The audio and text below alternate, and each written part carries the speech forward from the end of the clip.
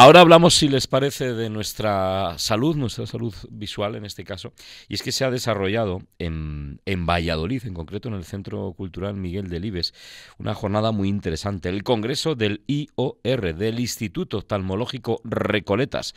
Y para que nos den más detalles de cómo se ha desarrollado y también en qué ha estado centrado esa jornada, ¿qué les parece si saludamos al doctor David Galarreta, que es el director médico del Instituto Oftalmológico del Grupo Recoletas? Doctor Galarreta, buenas tardes. Muy buenas tardes. Lo primero de todo, ¿en qué ha estado centrado esa jornada, como decimos, ese congreso, y cómo la calificaría, doctor? Bueno, pues el congreso llevaba por título Nuevas opciones, nuevas visiones, que muestra un poco claro lo que es la intención del mismo. ¿no? La idea era un poco repasar y actualizar las nuevas eh, opciones que hay de tratamientos en lo que son las enfermedades más frecuentes de, de la superficie ocular y de la cirugía de la catarata. ¿no? Eh, pues ha venido un panel de expertos realmente increíble, de un gran prestigio a nivel nacional, que fueron los encargados de explicar pues todos estos tratamientos que, pretendemos, digamos, que traer a las consultas eh, que hacemos del día a día, ¿no? Entonces, eh, bueno, yo, yo la jornada en sí la, calificaría como muy buena, como excelente, porque, vamos, así incluso nos lo dijeron también todos los asistentes que nos lo transmitieron un poco al acabar la jornada y incluso la gente te decía que había valido mucho la pena y que contásemos sin duda con ellos para, para unas nuevas ediciones.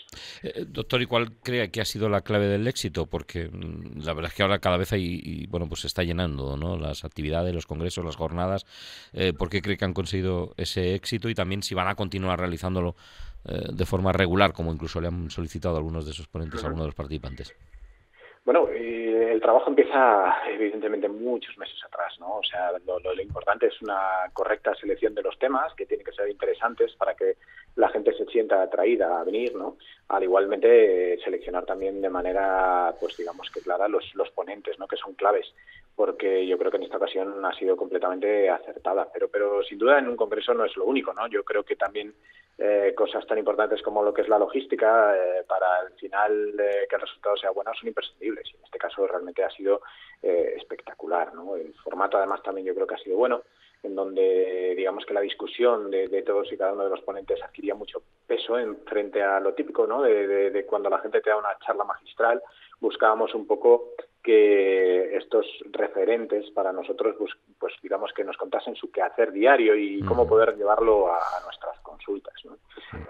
¿Cuál es? Y, Perdón, ah, no, lo, de que si lo vamos a seguir haciendo, sin sin duda. O sea, esa, es, esa es nuestra idea, ¿no? El IOR eh, solo tiene cuatro años, pero uno de los compromisos fue desde el principio eh, apostar por lo que es la formación continuada. Creemos que es imprescindible para mejorar la calidad asistencial y desde luego incluso pues que hemos tenido la pandemia por el medio, pero aún así pues la segunda edición tuvo que ser online.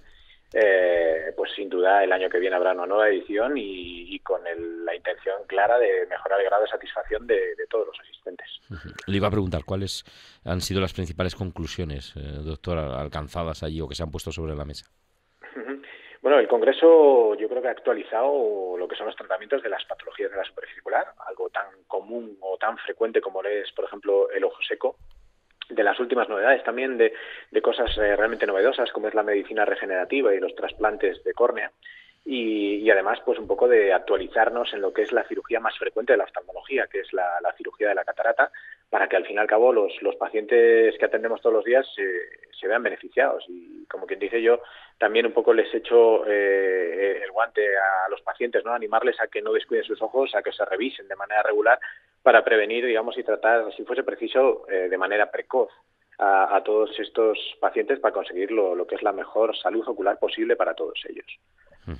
Eh, por último, para concluir, recordemos que estamos hablando con el director médico del Instituto Oftalmológico del Grupo Recoletas, con el doctor Galarreta, hablando de ese congreso y mm, al hilo de lo que ha dicho, ¿no? de la formación, de seguir apostando por todo ello, se me viene algo a la cabeza y saber cómo estamos en, en Valladolid en la materia. Eh, ¿Es nuestra comunidad, y en concreto Valladolid, una referencia en la oftalmología? ¿Cómo estamos situados, doctor? Yo creo que sin duda somos eh, referencia a nivel nacional y diría que también a nivel eh, internacional, ¿no? O sea, Valladolid siempre ha sido un poco eh, la punta de lanza eh, y no es, no es de ahora, sino que es un trabajo continuado de, hace mucho tiempo y las nuevas generaciones pues vienen apretando y mejorando toda esta situación y creo que sin duda nos tenemos que sentir orgullosos de nuestra oftalmología y yo creo que los pacientes no tienen necesidad de buscar nada fuera de, de la comunidad ni fuera de Valladolid porque yo creo que sus ojos están perfectamente cuidados y, y atendidos por nuestros profesionales.